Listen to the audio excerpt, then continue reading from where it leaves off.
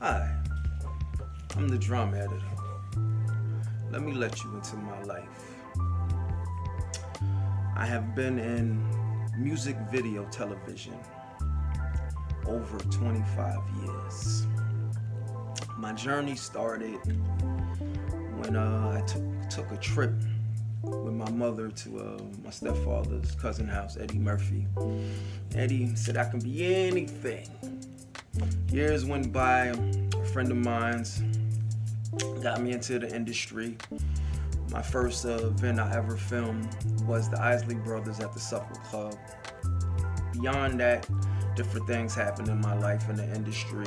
Um, then uh, I got got with other people in the industry that are iconic, like DJ Kay Slay.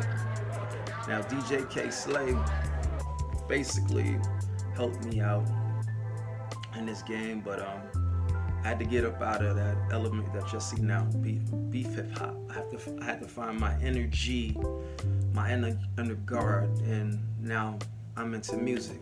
I do music. My name is Mr. Fresh on Apple Music, and um, that's just a little about me. Right now in Full Sail, I'm here to get my bachelor's degree, you know, digital cinematography.